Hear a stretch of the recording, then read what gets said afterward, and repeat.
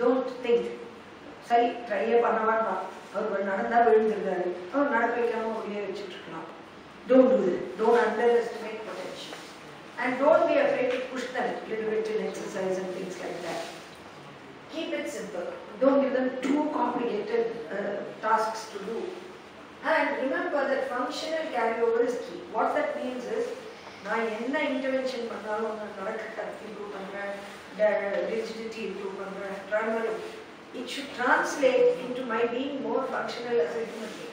I must be able to dress myself, I must be able to take my cup of coffee and drink, I must be able to do those. That should be the goal. So the physiotherapy or whatever we do will not be same for everybody. Because your functional goal, like I said, may be that you have to get into a bus every day. My functional goal may be something else. Like that, we have to individualize the occupational therapy. And you must learn, there are two ways. One is you can restore a function. முன்ன பண்ணிட்டு இருந்தாரு பண்ண முடியல இப்போ திருப்பி restore பண்ணிட்டேன் the other is you can compensate for function so if my hand is shaking and my medicines R brought down the shaking to this much I can give a double handed cup for that person to drink their tea and coffee from. So what do they do? They hold this hand, this hand and drink that. So that what are we doing? We are compensating for the disability. All with me or have I lost all of you? No, Everybody with me? Right. Now, when we look at the motor problems, there are so many other things which have nothing to do with drugs, which we can do. So we go a little into this. So, non-pharmacologically, we have the education, physical therapy, exercise, occupational and speech and language therapy, diet and nutrition, and psychosocial intervention. Psychosocial means able to put them back into the community. So they must be able to function in their whatever role they play. They must be able to go to a wedding or whatever. So we try to give them as much function as possible. So non-pharmacological, again, the, uh, we have to inform patients about the disorder. We have to, elderly patients will, are very often undernourished. And with difficulty in swallowing and Parkinson's, they are very often undernourished. So they are not eating enough. So we need to work on that. And a high fiber diet will help constipation and enough water. Another thing, because of this Nala, they stop drinking water. They don't drink enough water. So we have to work with all that. And of course, various other supplements. So exercise is very, very beneficial for any type of Parkinson's or Parkinson-like syndrome. The whole bag lot which I told you, it can be helpful for everybody. What does it do? It improves cognitive function, it improves the way they think. And that is because there is something in the brain called brain-derived neurotrophic factor, BDNF. When you exercise, the BDNF in your brain goes up. Levels of BDNF go up.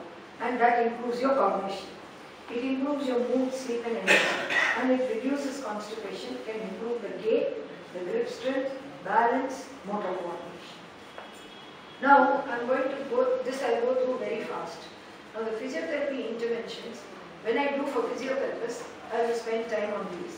But here, I'm just going to give you the headache. So, we can give them relaxing exercises, where on the bed, we rotate them so that it helps them to be able to turn when they want to turn. And there are a lot of rotational. Then we have flexibility exercises, functional training to do, be able to do a particular job, balance training. And uh, uh, balance training, we actually make them walk. Uh, we, we make people walk like this, and we walk backwards like this. Then they have to walk sideways, and they walk with their feet like this. All of this will improve posture. So, and we ask them to straighten up. Okay? And see, when you're teaching balance exercises, you can put a cloth around their waist and support them and teach them to regain their balance. Then we have locomotor training, which is making a person walk. And then there are a lot of things where we give them support and make them stand straight so the stoop is not there and so we are more stable. We give them special shoes, etc. Then cardiopulmonary. We want people also to be have the heart, heart and the lungs also should be good function. So exercise pranayama that helps in cardiopulmonary training. Also, gentle aerobic exercise. We cannot do very, we cannot him walk on a treadmill at the speed a normal person does. But you can do some like a treadmill and you can just make them go normal walking. And fatigue management. Remember that these patients already have all the stiffness, tremor, etc. and they get tired very easily. So when physiotherapy is planned for such patients, we don't give, go to a bedside, give it for half an hour and go off.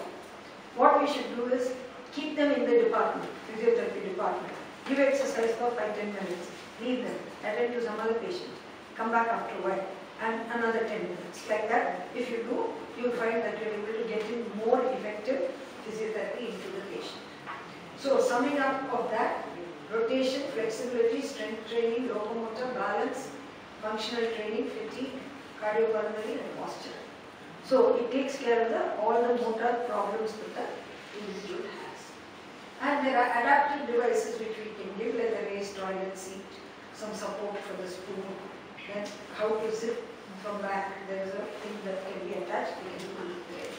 And combing the hair, you can have a long handled comb. And there are a lot of things. When you have to cut vegetables, you can have this guard because the hand is shaking, no? So it won't, the knife will go there, but it won't go beyond. Then this is a round door handle and we convert it by putting this thing on top, making it like a handle, uh, elongated handle, like the diapers, things to put on your socks, etc. These are all available. I told you about a double-handled cup, this kind of cup, and we have this straw tumbler available. And some Parkinson's patients can have a rollator also.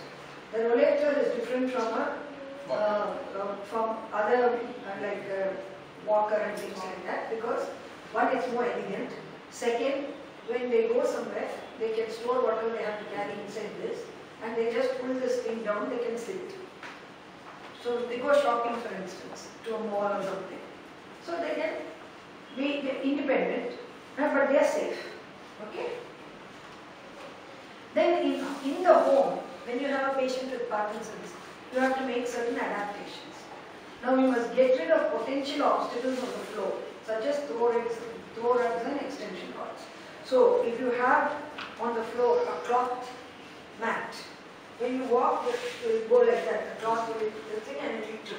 So no floor rugs in a home which has, if you have a carpet, it must be a heavy carpet, which they cannot, which will not get folded. Okay? And chairs that are easier to get up from. Now this kind of chair is much easier to get up from than a sofa. And many of our furniture nowadays, the beds and the sofas are too low. Even normal anybody find it difficult to get up. So it should be a little high. The cot should be on a little high. If need be, put another mattress. Increase the height. Or some people put uh, under the leg of the cot, you put something to give it more height. Wooden blocks can be made with a hole in it and the height can be increased. Okay? And uh, install railings along the wall. In many homes, many of my patients, they just put, supposing I have to go from, uh, this is the my bedroom and this is the dining room and I have to go every day to eat, but I'm a little unstable. From this, this wall will have a railing. So I will just hold them. Okay, so you can install railings around the walls home and get rid of any bathrooms. Bathroom is a very dangerous place for even normal people. If, especially in our country where we have this habit of pouring water on the floor. So when the floor is wet, it double danger. If you have Parkinson's, triple danger. And if you have freezing, quadruple danger. So you have to be very careful. And elevated toilet seat is there. And in the bathroom, don't expect them to hold the tap and get up or hold the toilet uh, paper holder and get up because those will all give way. You have to put a specific handrail, safety rail, like they do in the handicapped toilet, so that when they're getting up from the toilet, they hold that and then get up. So oh home adaptations oh, also have to be. And there are a lot of